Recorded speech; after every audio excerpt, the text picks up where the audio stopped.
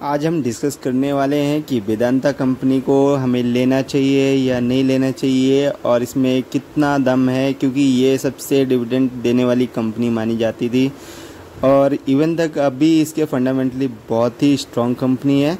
तो दोस्तों, हम ये जो जानकारी देने वाले हैं, इसमें बहुत सारी फंडामेंटल और बहुत सारे टेक्निकल एनालिसिस के बाद हम डिस्कस करने वाले हैं।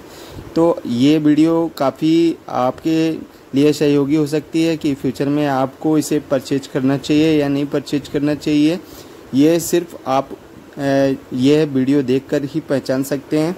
बाकी रही बात कि आगे कैसे आपको लेना है या नहीं लेना है, उसमें कैसे एनालिसिस पार्ट को देख करके आप अपना डिसीज़न ले सकते हैं। तो हम फाइनली वीडियो को स्टार्ट करते हैं। और ज़्यादा समय नहीं लेते हैं दोस्तों, आइए वीडियो को हम आगे की ओर बढ़ाते हैं। तो फ़िलहाल मैं जो वेदांता कंपनी की बात करने वाला था, कि वेदांता कंपनी बेसिकली क्या है, सबसे बड़ी लीडिंग कंपनी है जंक और सिल्वर में। तो दोस्तों, अभी हम बात करते हैं। हेलो दोस्तों, मैं राहुल सिंह, एक ट्रेंडिंग शेयर मार्केट की दुनिया में स्वागत करता हूँ आपको।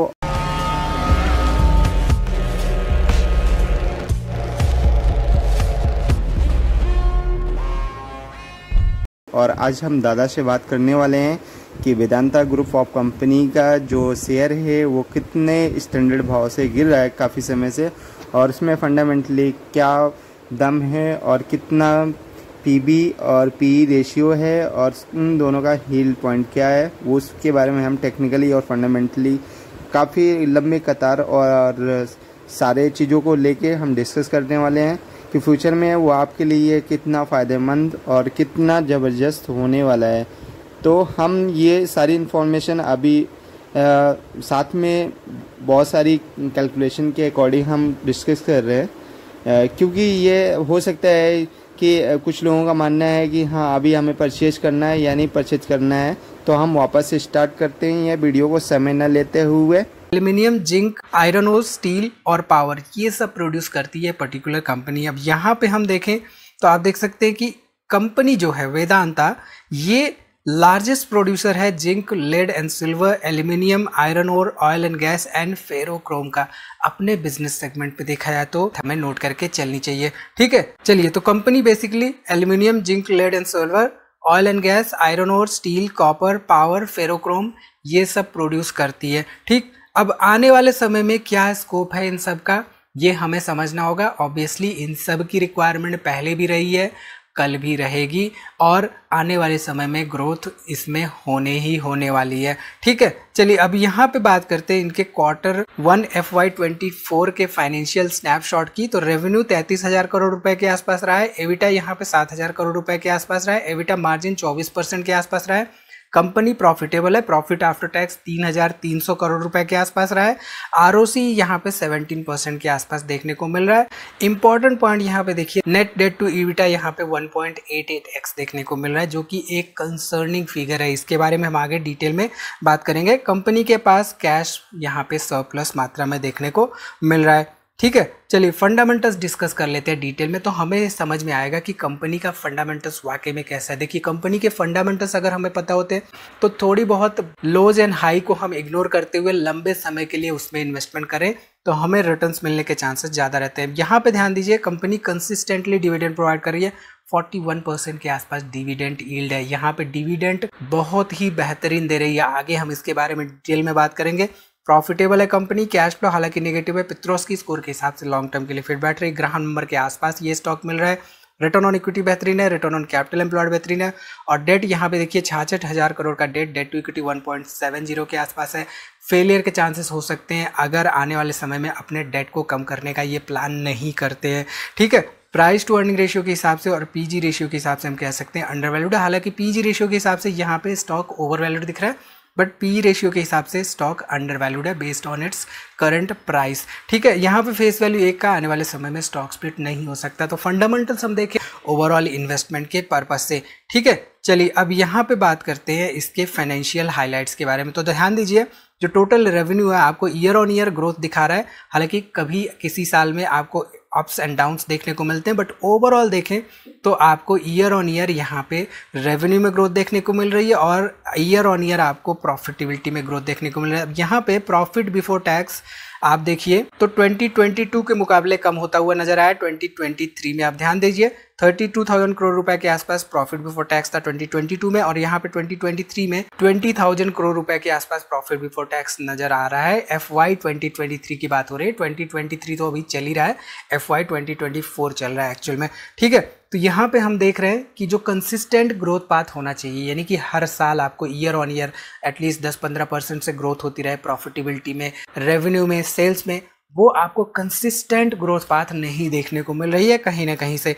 ठीक? चलिए, अब यहाँ पे बात करते हैं इसके फ्री कैश फ्लो के बारे में। तो ईयर ऑन ईयर आपको पॉजिटिव फ्री कैश फ्लो देखने को मिल रहा है, जो कि एक पॉजिटिव पॉइंट है इस पर्टिकुलर कंपनी के लिए। तो किसी कंपनी में अगर पॉजिटिव फ्री कैश फ्लो रहता है तो ऐसी कंपनियों में सरप्लस कैश रहता है। और ऐसे में हम कह सकते हैं कि इनके फेलियर होने के चांसेस कम होते हैं। यहाँ पे एक ही मेजर कंसर्निंग फैक्टर नज़र आ रहा है, जो कि है इसका ओवरऑल डेट ठीक है? चलिए, यहाँ पे बात कर लेते हैं एक इंपॉर्टेंट फैक्टर के बारे में कि इसका शेयर होल्डिंग पैटर्न क्या कह रहा है। देखिए शेयर होल्डिंग पैटर्न से हमें बहुत ही अच्छी इन्फॉर्मेशन मिलती है और बहुत सही डिसीज़न हमें लेने में मदद करती है शेयर होल्डिंग पैटर्न तो यहाँ पे आप ध्यान दीजिए प्रमोटर शेयर होल्डिंग 68 परसेंट के आसपास है और जो प्रमोटर शेयर होल्डिंग की प्लेजिंग हुई है, वो पूरी की पूरी 100 परसेंट प्रमोटर शेयर होल्डिंग की प्लेजिंग हुई है। 14 परसेंट यहाँ पे पब्लिक है और यहाँ पे आप देख सकते हैं करीब करीब 17-18 परसेंट के आसपास आपको इंस्टीट्यूशनल शेयर होल्डिंग यानी कि क्वालिफाइड इन्वेस्टर्स का इन्वेस्टमेंट देखने को मिल रहा है। तो इस कंपनी में आपको क्वालिफाइड इन्वेस्टर्स देखने को मिल रहा है, लेकिन क्वालिफाइड इन्वेस्टर्स में म्यूचुअल फंड्स बहुत ही कम है। तो ये बात आपको ध्यान में देके चलनी चाहिए। ठीक तो म्यूचुअल फंड्स आपको एक बहुत बड़ा हिंट दे रहे होते हैं कि कंपनी में इन्वेस्ट होल्डिंग है, वो पूरी की पूरी प्लेज हो रखी है। तो यहाँ पे अगर किसी को इन्वेस्टमेंट करना है तो पहली बात तो इन्वेस्टमेंट करने से बचना चाहिए। अगर करना भी है मिशन पे देखिए, हमने देखा company consistently dividend pay out कर रहे और डिविडेंड ईल्ड फोर्टी परसेंट के आसपास निकल के आ रहा है इसका। यानी कि हर एक हज़ार रुपए पे चार सौ रुपए के आसपास हर साल ये डिविडेंड पे ईयर एक लाख पे चालीस हज़ार यहाँ पे हम हर साल डिविडेंड के फॉर्म में कमा सकते हैं। तो आप देख सकते हैं कि कितना बड़ा पोटेंशियल है। दो, यहाँ पे फंडामेंटली स्ट्रांग दिख रही है बट फंडामेंटल्स के हिसाब से थोड़े बहुत नेगेटिव पॉइंट्स भी दिख रहे हैं।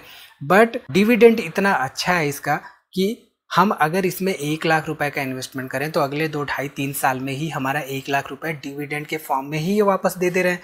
तो आप ही बताइए कि डिविडेंड इन्वेस्टिंग के पर्पज से ये स्टॉक फिट होता है या नहीं। ठीक है? तो यहाँ पे अगर हम देखें तो आप देखिए इन्होंने 2023 में ऑलरेडी तीन बार डिविडेंड दिया है। यहाँ पे बार साढ़े बारह रुपये का, साढ़े बीस रुपये का, साढ़े अट्ठारह रुपये का, करीब करीब अड़तीस, उनतालीस, चालीस, पचास, बावन रुपये के आसपास ये डिविडेंड ऑलरेडी दे चुके हैं। 2023 में ही महज पाँच छः महीनों में। तो अगर हर साल ये सौ रुपये पर शेयर डिविडेंड दे रहे हैं, अब ध्यान से सुनिएगा इस बात को। करेंटली प्राइस दो सौ पचास रुपये के आसपास चल रहा है राइट अगर हम इस डिविडेंड को भी मिला दें तो तीन सौ रुपए के आसपास ट्रेड कर रहा होता, अगर इन्होंने डिविडेंट ना दिया होता। कंपनी बेसिकली देखिए डिविडेंट क्यों देती है? डिविडेंट मई 2023 की है। तो मान लीजिए 29 मई 2023 को शेयर प्राइस तीन सौ रुपए का था तो 30 मई 2023 को नौ बज के पंद्रह मिनट पे इस 300 में अठारह, साढ़े अठारह रुपए रिड्यूस हो जाएँगे। ठीक? तो ये बेसिक सा प्रिंसिपल हमें एज रिटेल इन्वेस्टर नहीं पता रहता ऑलमोस्ट 98-99 परसेंट लोगों को नहीं पता रहता है इसलिए हमें ये नहीं समझ में आता है कि वाकई में हमें क्या करना चाहिए स्टॉक में हमें क्या इन्वेस्टमेंट करना चाहिए या नहीं करना चाहिए। ठीक है तो ये कंपनी बहुत ही बेहतरीन डिविडेंड देती रही और डिविडेंड परफॉर्मेंस इसका आप देखिए ट्रैक रिकॉर्ड देखिए ईयर ऑन ईयर आपको अच्छा खासा डिविडेंड देती रही और डिविडेंड अमाउंट इंक्रीज करती रही है। तो यहाँ पे क्लियर कट संकेत ये है कि अगर इसमें पैसिव सोर्स ऑफ़ अर्निंग के लिए डिविडेंट इन्वेस्टिंग के पर्पज से इन्वेस्टमेंट किया जाए तो भी हमें एक अच्छा खासा रिटर्न मिल सकता है इसके मात्र डिविडेंट से। ठीक है? अब यहाँ अगले तीन चार महीनों में सेमीकंडक्टर प्रोड्यूस करके रख देगी। आपको समय देना होता है किसी भी बिज़नेस में ग्रो करने के लिए। तो यहाँ पे एटलीस्ट एक दो साल लगने वाले हैं। इसका मतलब ये कि अगर हमें सेमीकंडक्टर की वजह से वेदांता में इन्वेस्टमेंट करना है तो एटलीस्ट तीन चार साल के लिए रुकना होगा एक फ्रूटफुल इन्वेस्टमेंट पर रिटर्न पाने के लिए। ठीक है? चलिए, अब यहाँ पे ध्यान दीजिए तो आप देख सकते हैं जो सेमीकंडक्टर मैन्युफैक्चर करने के लिए जो मटेरियल्स चाहिए होते हैं, वो मटेरियल्स बेसिकली वेदांता प्रोड्यूस कर सकती है, कर रही है। तो यहाँ पे वेदांता को बहुत ज़्यादा डिफिकल्टीज नहीं आने वाली हैं सेमीकंडक्टर मैन्युफैक्चर करने में। ठीक? चलिए, हमने फंडामेंटल्स वगैरह देख लिया हमने सारी इन्फॉर्मेशन देख ली। अब यहाँ पे ये देखते हैं कि क्या करंट लेवल्स पे बाई करना बनता है या नहीं इन केस अगर हम बाई करने का डिसाइड करते हैं।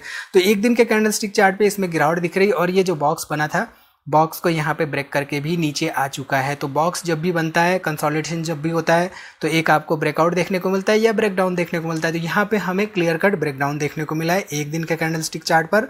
और अगर हम इसी को करें एक मंथ के कैंडल स्टिक चार्ट पर तो एक मंथ के कैंडल स्टिक चार्ट पर देख सकते हैं, ये ब्रेकडाउन हमारे लिए एक वरदान साबित हो सकता है, क्योंकि यहाँ पर रिसेंट हाई जो गया था चार सौ के आसपास से करंटली यहाँ पे दो सौ रुपए के आसपास भी आ सकता है। तो ऑलमोस्ट 50 परसेंट डिस्काउंट पे हमें ये स्टॉक आने वाले समय में मिल सकता है, जो कि एक बेहतरीन डिस्काउंट होता है। 50 परसेंट का डिस्काउंट का मतलब यह है कि भाई स्टॉक फर्दर गिरेगा ही नहीं, ऐसा नहीं है।